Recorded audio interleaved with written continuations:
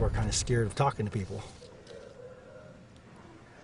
Parents are demanding answers after reports of two men trying to grab students outside of North Modesto schools.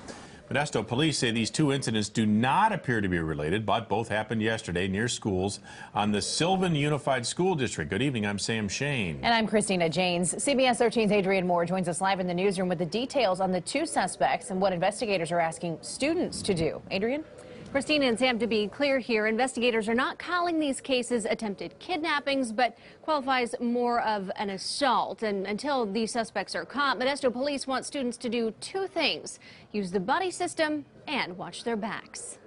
We do have a neighborhood watch, and we're putting that together quite a bit right now. And Vito Bacalieri is one of many concerned parents serving as extra eyes and ears around North Modesto schools. and it's coming together pretty good. So hopefully the neighborhood watch will get watching this thing more. Police say a man using obscenities approached a Woodrow Elementary student as he got off the bus Tuesday afternoon, but walked away after his grandfather intervened. You always got to be careful because there are weirdos out there who will try and take kids. So, I mean, you always got to be cautious and careful. A second incident was reported near Stockard Coffee Elementary School, where Modesto police say another man tried to grab a student.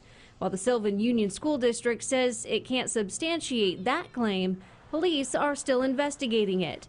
It's a scare that now has Bacalieri revisiting stranger danger with his two young kids. Always look over your shoulder and always pay attention. And when you're, especially when you're walking, if you're walking by yourself, always be looking around. Modesto police released a statement that says in part, quote, officers have increased patrols near schools and parks and are actively seeking suspect and or witness information.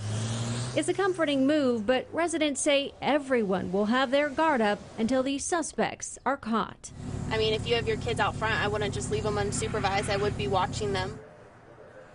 Now, the Sylvan Union School District has also sent a message to parents about this, saying, quote, please remind your child to be very careful when walking to and from school and to be alert to any stranger. Now, one suspect has been described as a white man in his 20s and was seen wearing a long sleeve t-shirt.